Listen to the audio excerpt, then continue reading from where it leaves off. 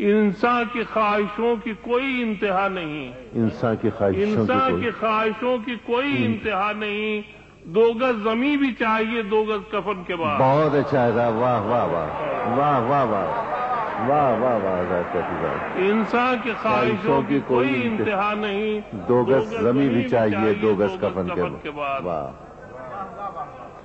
इंसान की इंसान की ख्वाहिशों की कोई इंतहा नहीं। दो गज जमी भी चाहिए दो गज कफन के बाद। कुछ शेर और एक दूसरी गज़ल की अर्ज़ करूँ? अच्छा। नज्म भी सुनेंगे हम लोग। हाँ नज्म सुनोगे हाँ, गज़ल कुछ अशार और नज्म, जी हाँ। मोमिन की ज़मीन है बहुत अच्छा। गुस्ताखी है बाहर मिला जाओ। की है कोई हसीन खता हर खता के साथ? अच्छा किया। की है कोई हसीन खता खता हर खत- खता के साथ। थोड़ा सा प्यार भी मुझे दे दो सजा के साथ। अच्छा है बहुत अच्छा है कोई हसीन खता हर खता हर खता के साथ। हाँ। थोड़ा सा प्यार भी मुझे दे दो सजा के साथ। मेरे घर में मैं पाँच भाई था और मेरे बाकी भाई भी शेर शेर कहते थे शायर थे। फादर मेरे बाकायदा शायर तो नहीं थे, लेकिन पर्शियन में कभी कभी कुछ लिखते थे। मगर वो शायरी पसंद बहुत करते थे। तो जो बड़े भाई थे मेरे, वो शेर कहते थे।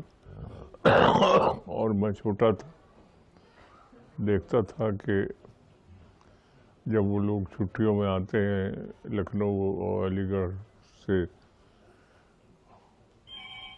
तो उनकी बड़ी आवभगत होती थी घर में। और वालिद भी उसको उनकी चीज़ें सुनते थे, तारीफ़ करते थे और उनको इनाम देते थे तरह तरह के। तो मुझे, मैं छोटा था तो मुझे बड़ा रश्क होता था कि ये सब मेरे साथ क्यों नहीं होता।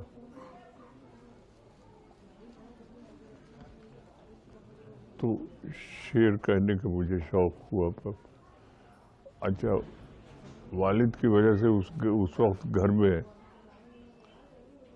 उर्दू और फारसी के तमाम बड़े शायरों के किताबें थी, जो मैंने उस उम्र में पढ़ी, जिस उम्र में उसका बहुत कम हिस्सा मेरी समझ में आता था, लेकिन पढ़ता ज़रूर था।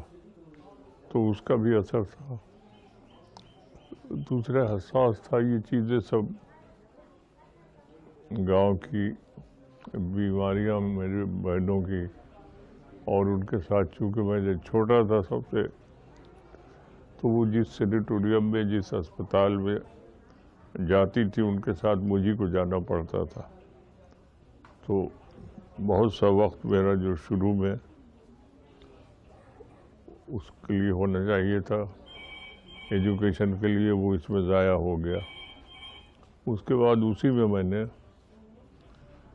शायरी शुरू की टूटे फूटे तो ज़ाहिर है कि उसके मैं उसका जो परफेक्शन तो नहीं था उसमें, मगर ये कि फीलिंग थी अच्छी। तो लोगों ने सराहा, और मैंने शुरू में ग्यारह बरस की उम्र में मैंने ये गज़ल कही, वो गज़ल पढ़ी, पसंद की गई।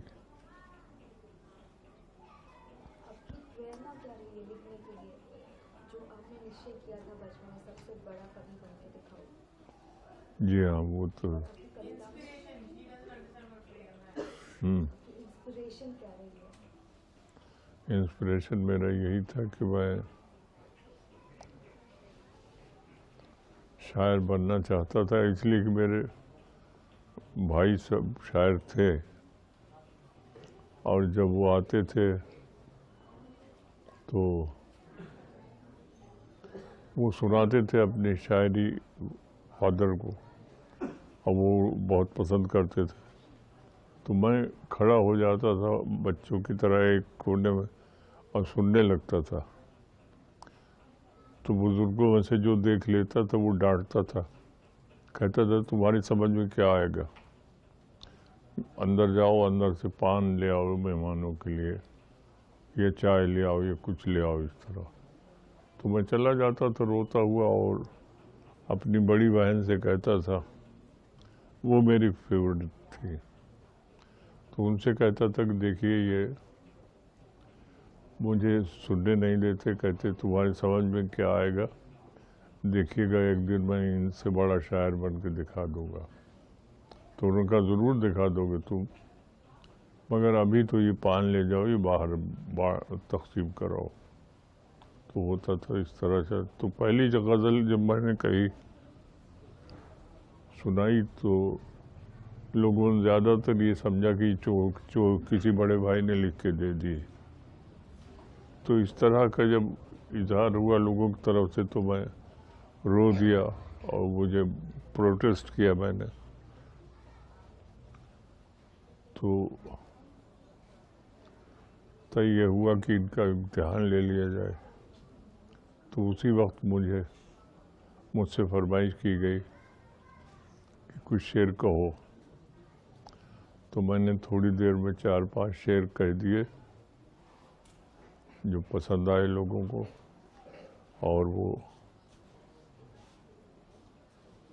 ये, ये मान लिया कि शायर हो तुम जो सहजता और स्वाभाविकता आपकी कविताओं में रिफ्लेक्ट होता है क्या वो स्वाभाविक है या आपने सीखा है आपका कोई गुरु है गुरु कोई नहीं मेरा। गुरु इसमें कोई नहीं है गुरु किताबें ही हैं? बस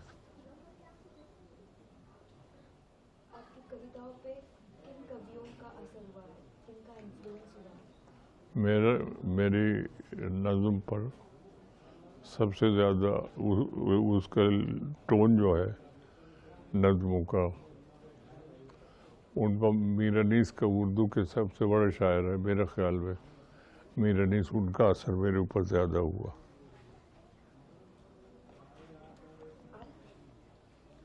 आप जब कब टर्निंग पॉइंट कौन सा था जब आप सिर्फ़ शायरी से शायरी की सामाजिक जवाबदारियाँ समझने लगे वो कौन सा ये है जब हिंदुस्तान में। हम्म, लखनऊ में पहली बार था प्रोग्रेसिव राइटर्स कॉन्फ्रेंस हुई जो कॉन्फ्रेंस सज्जा जहीर साहब ने बुलाई थी और जिसकी अध्यक्षता की थी मुंशी प्रेमचंद ने। तो उसका जो मैनिफेस्टो उसमें जो तकरीरें हुई जो पेपर पढ़े गए। तो उनसे मुझे मालूम हुआ कि शायरी का मकसद सिर्फ़ दिल बहलाना नहीं है। उससे समाज को बदलना, लोगों को बदलना और उनको आज़ादी के लिए आज़ादी के उसमें जद्दोजहद में उतारना और आपस को सब दूर करना, ये उनका शायरी का काम होना चाहिए। तो मैं उस पर चल पड़ा और शायरी तब से कर रहा हूँ, उसी उसी ढंग की इनकलाबी शायर बना। गोपाल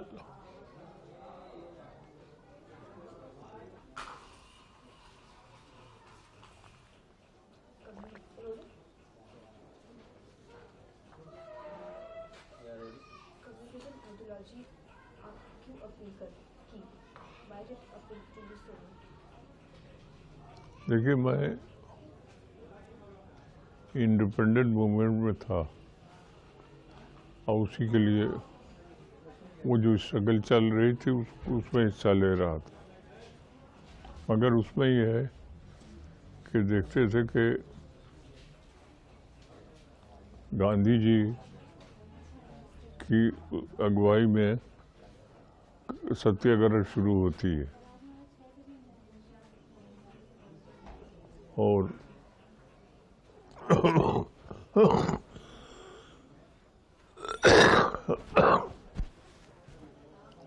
आगे बढ़ती आगे बढ़ती, उसके बाद वो किसी पॉइंट पर कंप्रोमाइज कर लेते हैं कि जितना आगे बढ़ते हैं, उतने ही पीछे हट जाते हैं।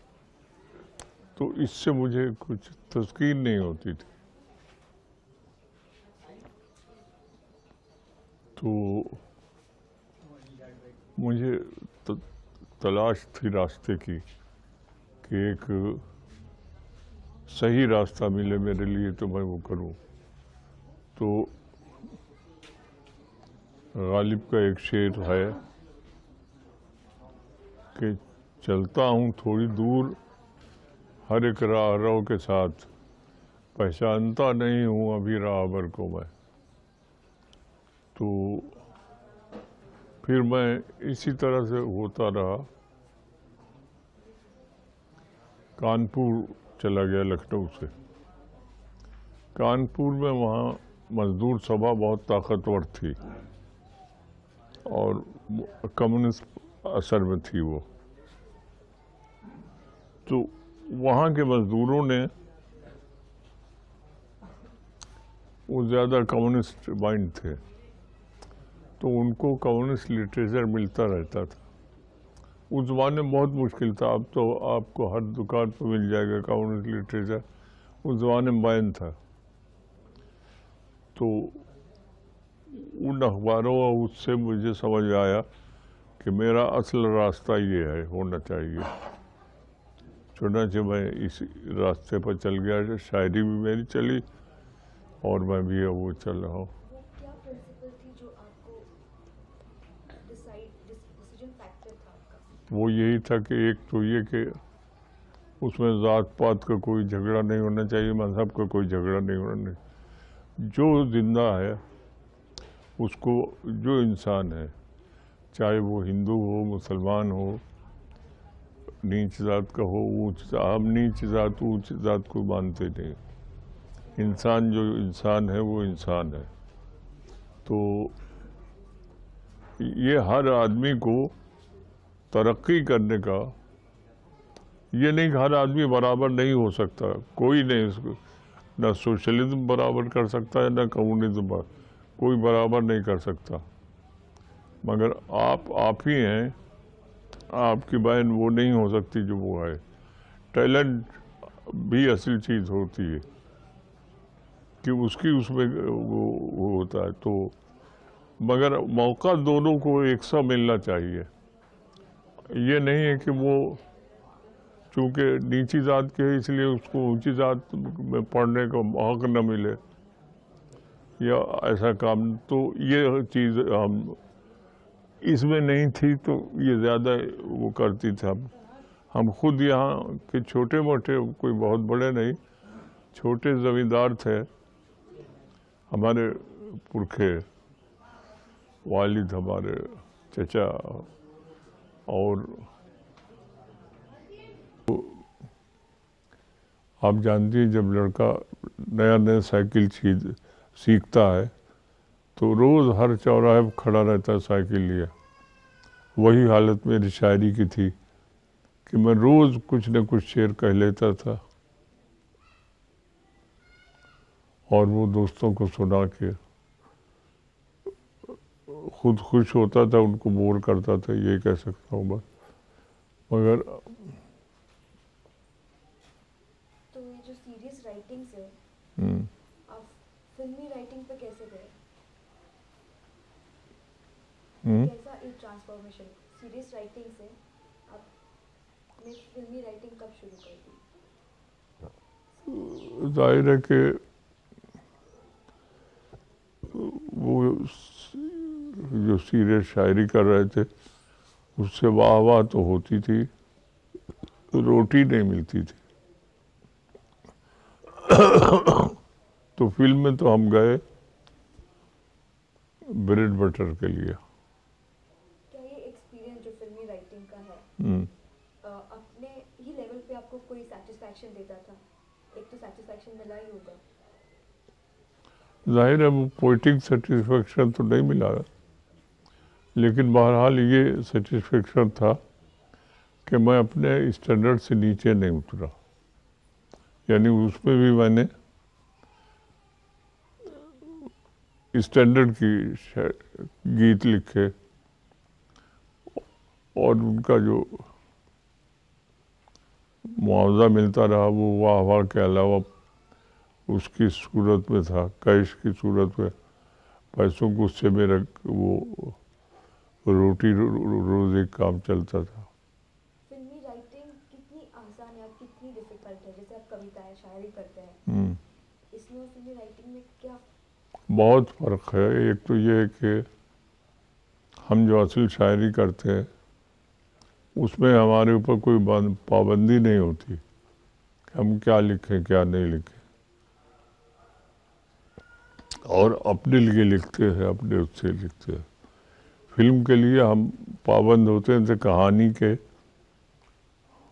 सिचुएशन के कहानी में जो डायरेक्टर हमको सुनाता था, वो कहता था कि इस जगह पर ये गाना गाया जाएगा, वो गाना मर्द गाएगा या औरत गाएगी, ये फ़र्क होता था, किस जबान में गाएगी, वो सब उसमें पहले से बंदिश होती थी। यानी हाथ पाँव बंधे हुए और समंदर में ढकेल देते थे कि अब पैरो। तो वो बंदिश थी इसमें आ, वो आज़ादी नहीं थी जो। लेकिन उससे जो सेटिस्फेक्शन असल तो होता था वो ये कि उससे हमारे ब्लड बटर सकता था। से आपकी पहली मुलाकात हम्म, यादगार रही होगी। हम्म, क्या वो अनुभव आप हमारे साथ हम्म? क्या वो अनुभव हमें बताएँगे? नहीं वो मैं नहीं बताऊँगा। इसलिए कि मैं अब शौकत अपा के आपने कोई नज्म या कविता लिखी है? बहुत सी लिखी। हमें दो पंक्तियाँ पढ़ के सुनाएँगे। हाँ पहली जो कविता लिखी थी उनके ऊपर मेरा वो थी